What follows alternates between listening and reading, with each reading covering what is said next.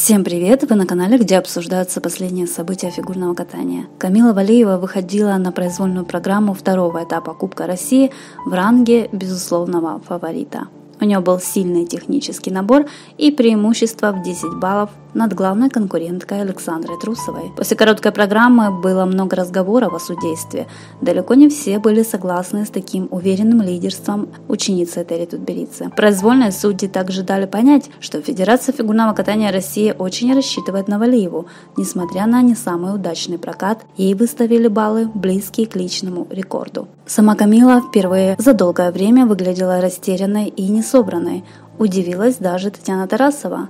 Первую битву с Трусова фигуристка проиграла. Ее сегодня немного колбасило, непривычно было, сказала в эфире Первого канала Татьяна Тарасова Авалиевой. В результате она очень сильно упала, летела убиваться с первого четверного. Напряженность на лице Камилы еще во время утренней тренировки не сулила ничего хорошего. Тогда она уверенно откатала программу с двумя четверными тулупами, но волнение чувствовалось даже на видео. Выйдя на лед мегаспорта, она и вовсе растерялась. На шестиминутной разминке перед стартом большую часть времени просто ездила от борта к борту и неохотно пробовала ультраси. Последний раз такую Валиеву мы видели больше года назад, на первом для нее этапе юниорской серии Гран-при в Куршевеле. Этот год должен был стать для Камилы вторым и последним по юниорам, но из-за пандемии коронавируса юниорские международные старты отменили и самых талантливых отправили соревноваться со взрослыми на этапах Кубка России. Если раньше о катании Камилы говорили исключительно в комплиментной манере,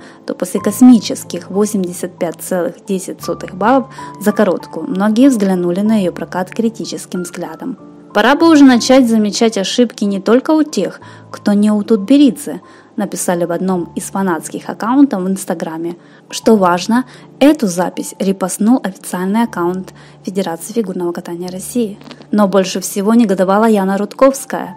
Времена сейчас другие, пора бы уже адекватные баллы спортсменам ставить, написала она в своем инстаграме. Камила, конечно же, не виновата в чересчур теплом отношении к ней от судей, но вряд ли ей было приятно, что после объявления ее фамилии был слышен свист, а болельщики выступали с баннерами «Я, мы, честное судейство».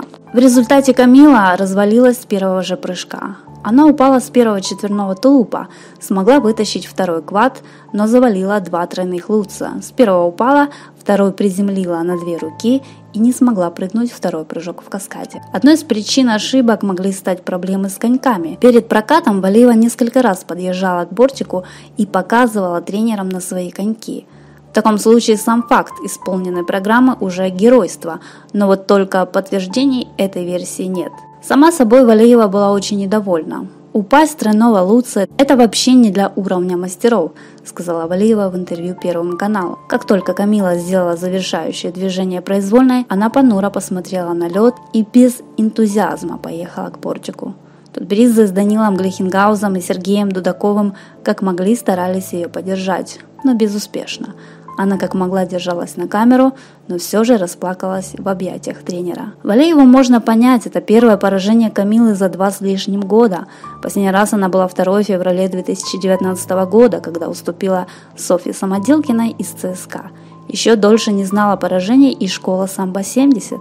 Фигуристки из «Хрустального» последний раз проигрывали в январе 2019 когда Алина Загитова на чемпионате Европы стала второй, а выиграла Софья Самодурова из группы Алексея Мишина. И Самоделкина и Самодурова в результате не смогли добиться того же успеха, как Загитова и Валеева. Но эти локальные поражения, как для Алины, так и для Камилы, во многом стали определяющими в дальнейшей карьере. Загитову и Валееву часто сравнивают, и у них действительно много общего. Рано заблистали на мировом уровне, начинали заниматься фигурным катанием в Татарстане. Важным отличием Камилы считали ее стойкость и уверенность в себе, но на самом деле это не совсем так. До перехода к Этери Тутберидзе Валиева часто ошибалась и срывала прокаты. Именно нестабильность в результатах не позволяла ей показывать свой талант в полной мере до начала тренировок в самбо-70. Несмотря на неудачный прокат, Валеева получила хорошие баллы – 233,70 баллов. Это близко к личному рекорду фигуристки на международном уровне. 5 баллов из них это бонусные очки за вращение и четверной, а Валиевой нужно потихоньку привыкать к повышенному вниманию к своей персоне.